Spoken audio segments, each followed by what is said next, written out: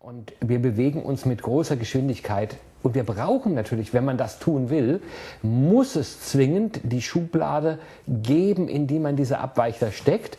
Denn sonst, ja, wenn man denen nichts mehr vorwerfen könnte, ja, ja dann gäbe es ja auch gar keinen Grund, die zu denunzieren. Also muss man etwas äh, zum Denunzieren finden und erklären.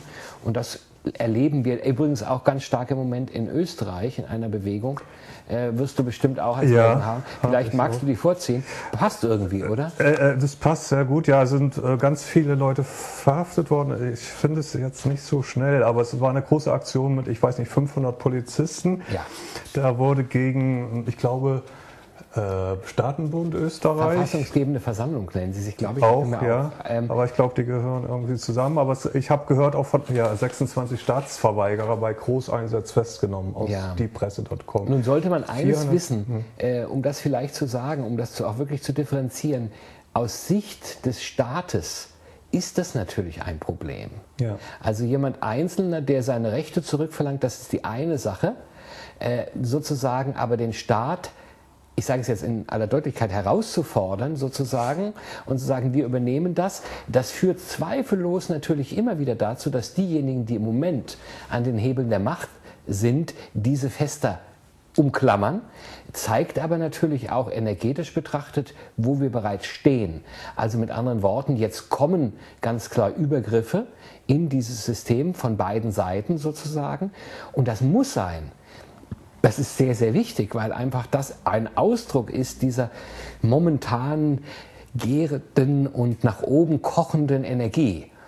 Ja, ich habe äh, gehört, dass da eben äh, diese Gruppen teilweise auch gespalten sind. Es gibt eigentlich welche, äh, Monika Unger wurde da erwähnt, die soll wirklich gesagt haben, wir müssen Richter und Staatsanwälte vor Gericht zerren, sozusagen vor eine, ein, ein ja, Naturrechtsgesetz oder was auch immer, haben also Ladungen verschickt und haben gesagt, wer, wer nicht erscheint, wird mit der Militärpolizei vorgeführt.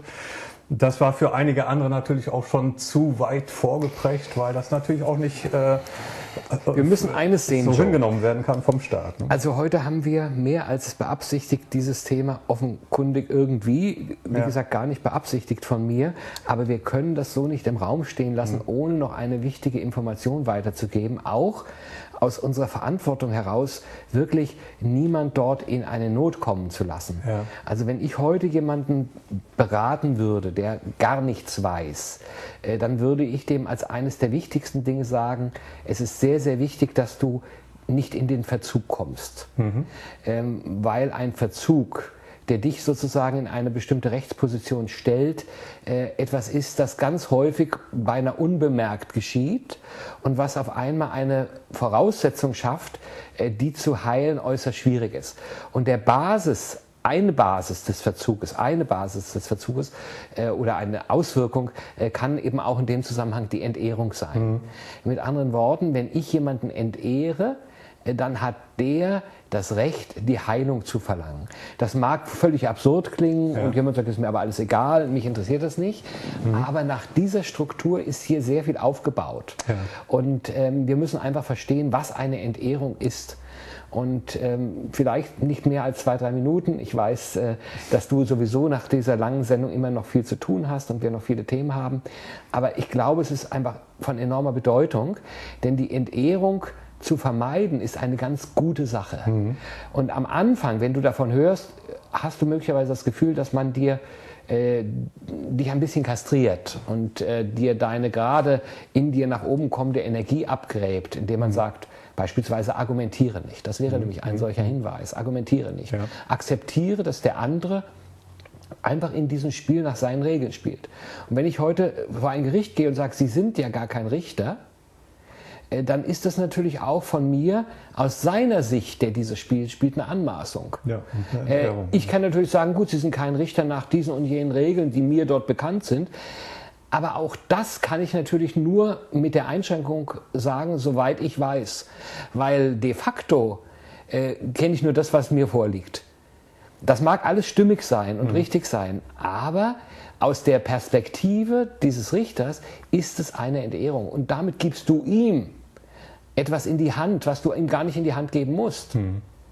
Und das ist etwas, was von großer Bedeutung ist. Und ich glaube, es ist einer der zentralen Fehler, die im Moment gemacht werden, ja, ja. Äh, dass man über etwas diskutiert, worüber man besser nicht diskutiert.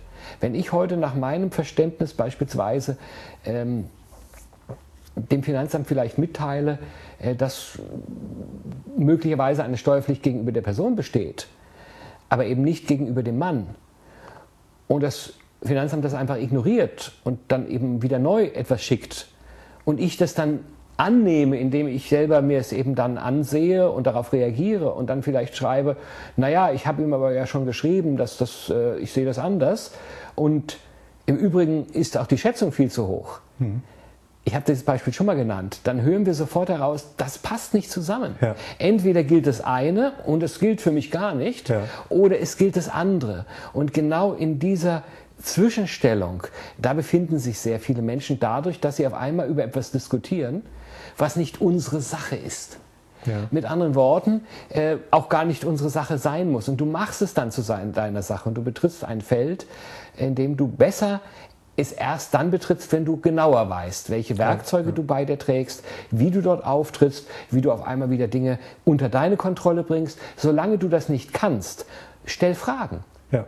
Und zwar stelle wirklich Fragen oder stipuliere etwas und sage, nach meinem Verständnis ist das so und so. Mhm, mhm, genau. Bitte, wenn das nicht so ist, widerlegen Sie mir das.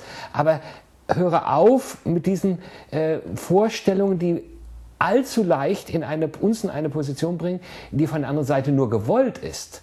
Ja. Denn eines, und das ist auch noch etwas, die Entehrung schafft dir mehr Rechte.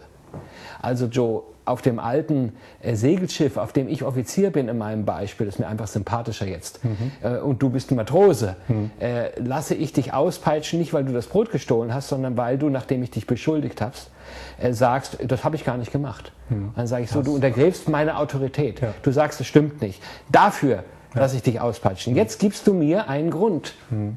Und das ist genau das, was hier geschieht. Und äh, viel ähm, wird wirklich aus dieser Perspektive heraus auch an kommerziellen Mitteln dadurch geschaffen.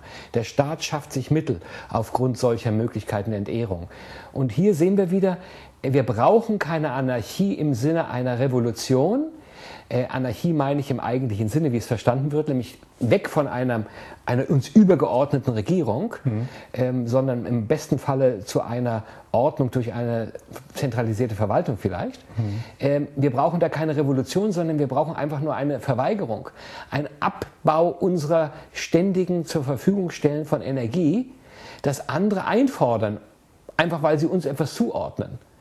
Und wenn ich jetzt darüber diskutiere, ob das richtig zugeordnet ist oder falsch, oder ob er das auf einem anderen Formular oder hätte unterschreiben sollen, das ist müßig. Mhm. Es ist müßig. Mhm. Es spielt gar keine Rolle, ob er es unterschreibt oder nicht. Hat er überhaupt ein Recht? Und dann stelle ich besser Fragen, ja. bis ich weiß, wie die Antworten wirklich sind und ich dann mit meinen entsprechenden anderen gewonnenen Kräften agieren kann.